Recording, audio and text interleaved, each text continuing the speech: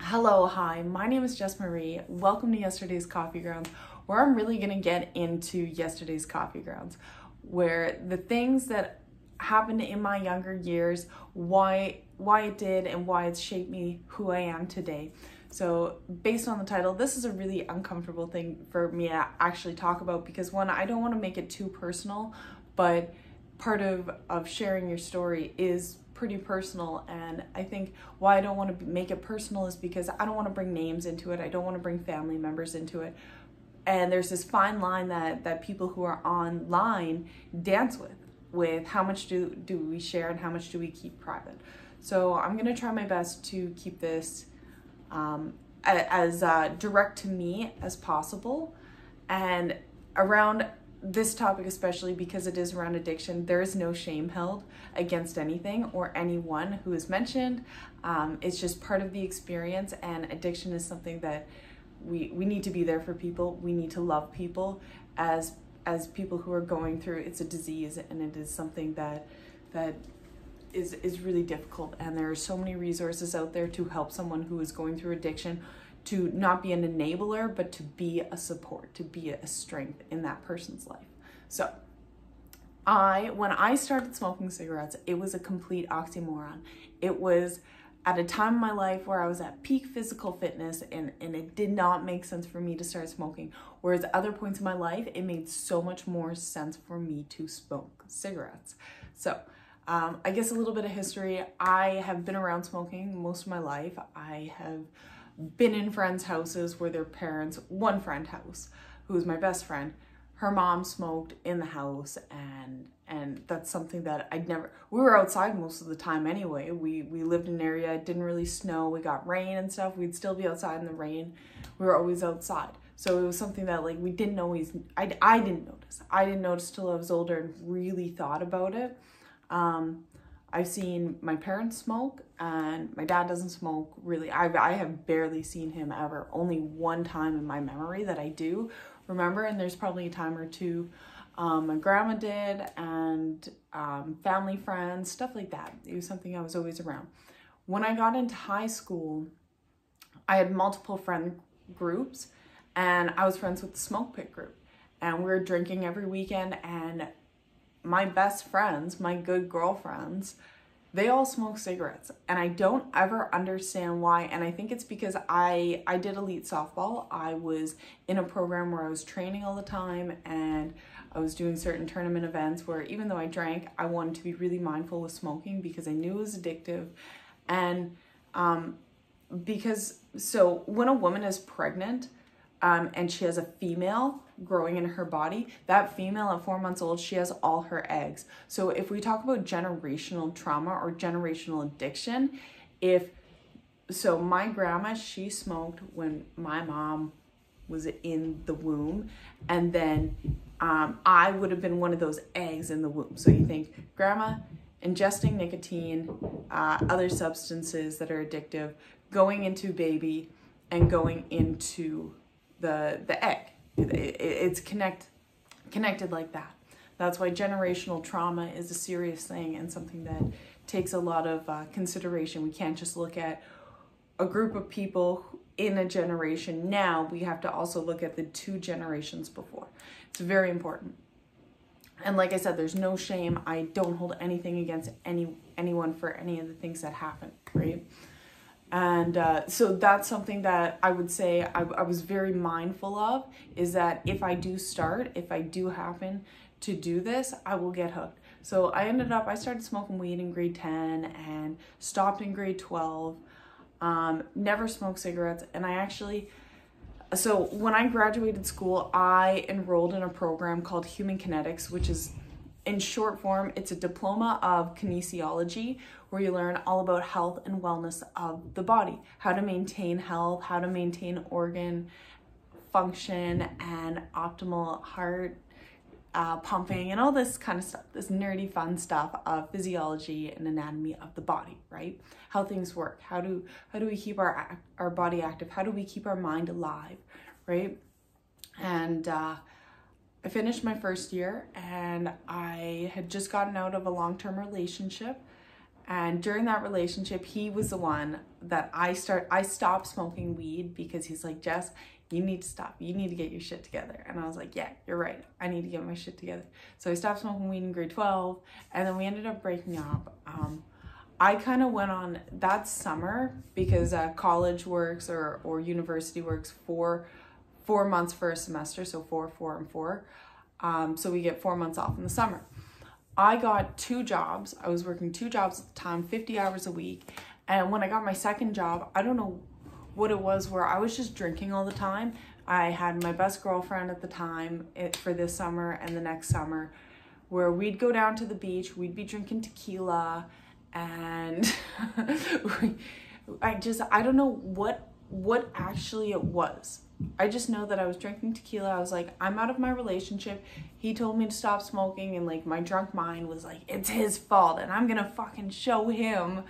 And I just showed myself. So I was 18 years old, and uh, because I had a lot of people who were of age, I started going to this one particular smoke shop or convenience store, and I would go with them to buy smokes, and then I just started going on my own. I started going on my own to buy cigarettes at 18. Here, the legal age is 19. So, and then I was also going to bars and stuff like that, which just was was what it was. And it was crazy because I was at such a peak physical fit point in my life. I was going to the gym still five days a week. I was exercising five days a week. I was eating the best that I could on the budget that I had. And it just really didn't make a lot of sense for what I had going on, for learning all about health and wellness of the body, that I had all this knowledge flowing through my mind. And I decided, you know what, to heck with it all. And one of the things that I actually, at that time, I really wanted to pursue was working with people in a rehab facility uh, in using exercise as a form of rehabilitation. And my mindset was, how can I help anybody through rehab if I don't know? I, I've never been addicted to anything, I've never gone through an extreme amount of something and used exercise. I would feel like a hypocrite. And part of my mindset, I think that weaved into what I wanted to do. And then I st- I, I dropped that dream because, or, or idea because I would get hurt. I would get really hurt. I'm very emotionally attached to humans and human connection, that I take things very personally. And if I couldn't help someone, I, one person wouldn't be enough. If I had five clients, let's just use it as a, an easy term, five clients. If I had five clients and only one of, if one of them, if one of them made it and did well and did well with the program, I would feel like that's not enough. I would want all five to be successful. So it would be really hard on my brain. And that's just the way that my brain is wired, right? Some things you can't change. You can't change about your personality. Whoa, I drank all my water. My throat is raspy. so, um, something I went through and I started just smoking half a smoke, half a smoke. I would go like four or five days with a pack of smokes.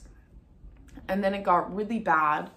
And I remember going into my third and final year of school and I was living on my own.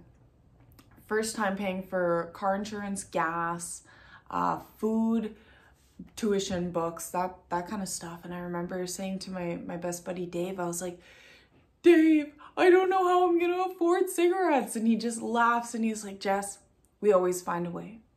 And there's that's always stuck with me over the years is there's always a way. You always make it happen. You always make it make it work. And and you know, I survived, obviously. What a silly thing. But I remember going so I remember being so secretive about it and and I didn't want anyone, of course, in my program to know that I was smoking. And they'd see me, we'd all go to the bars together and stuff like that. So they'd end up seeing me anyways. So it's like, whatever. And uh, I ended up, um, I would I would smoke a cigarette before going to the gym. And I, I listened to this podcast a long time ago and I wish I remembered a little bit more. I'll have to look into it, where it is actually a common thing because your body doesn't know the difference between running on a treadmill and running from a bear. It's stress. It's stress on the body. So cigarette because it has that calming effect reduces that stress. So it's common for people to have cigarettes after after going to the gym, having that calming effect if you are addicted to it, right? Makes sense. Um, I don't know too much about that. Uh, if, if, if it is something that, that you're interested, definitely look into it. It's something I want to look into a little bit more, but I have so many other things that I'm looking into right now. So anyways, um, fast forward, I've met actually so many, I'm so grateful that I actually was a smoker for the amount of time that I was. So I think I got pregnant when I was 22, 23, I can't remember. So I was a smoker for about five years, quit smoking. I've met so many people through smoking cigarettes and have had so many amazing conversations and and that's something I am actually really grateful is for the connections that I never would have had for hanging out with with people that I never would have because we're both smoking and and that's something that I'm, I'm really appreciative of um, I'm really grateful that that I didn't just narrow my mindset and and I also started writing because I was smoking. That's why I started writing journals. It correlates at the same time because I love just having a smoke and writing my thoughts. I started painting because of smoking because it's just something that they they coincide for me as somebody who is an artist, as somebody who is a creator. It's just something that now that I don't have it's it's more difficult to create. And uh I when I got pregnant, I quit smoking. I quit smoking um, cigarettes in August. I found out I was pregnant in November. I started using the vape, and the, I'm not going to talk about that. I, I, I don't believe that it is a form. It is not quitting smoking. I don't think it's a tool to help people quit smoking. That is my personal opinion through my experience. But I used the vape for a little bit little bit, a little while, a little bit. My grandma was in the hospital and she was sick. She was on her last days. And um, my brother had had something happen to him. Um, not that he's a heavy smoker or anything like that, it's mostly weed for him. But something happened with his lungs, and I quit smoking the vape. I stopped, I was four days into not smoking the vape, maybe five, and I found out I was pregnant. And it was just amazing timing. It was unbelievable timing to to have that willpower before knowing there is something about doing it on your own and doing it because you have to or because it's right it is so different and both are equally satisfying to, to get through but to know that i went through that without that that tough mindset of oh, I gotta wean myself off, I gotta get patches, how is it gonna affect the baby? Just being able to be like, okay, I'm already five days in. That's badass. Thank you. Like, yeah, girl. And I, I thank creator for that because I think that was a huge thing that that creator knew that baby was was in the, the belly, that this is what was needed. And I do thank Levon for being my savior in in some sense of of my addiction of smoking cigarettes and and unfortunately I did start smoking again. um, so he was born in June, at the end of June. I started smoking cigarettes uh, December, January. And it, we just had like high stress. It started as like one smoke at night around Christmas time. And then, yeah, it just came into full force smoking. So he would have been six months old. And I have been just over a month of of uh, cigarette free. And just over a month yeah just over a month maybe five six weeks. Um yeah so it was another two years. So i smoked cigarettes for seven years.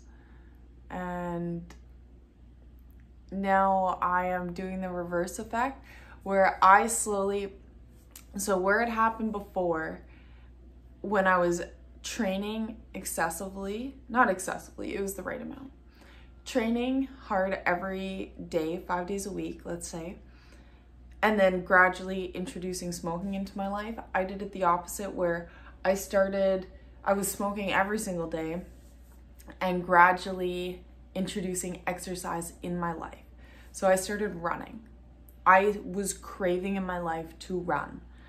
And I would run and it'd be really difficult and I would crave that cigarette. I would you know, I would I would still go home afterwards and smoke a cigarette.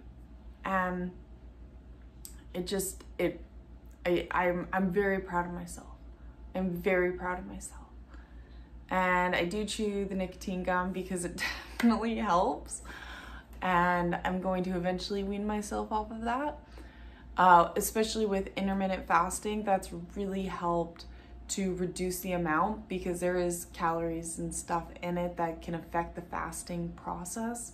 But that's something that that is working for me. And I'm not saying it works for everybody but when it comes to smoking that's where I'm at. And and I'm I'm really glad to be at a point where I don't crave smoking. I don't want that in my body anymore.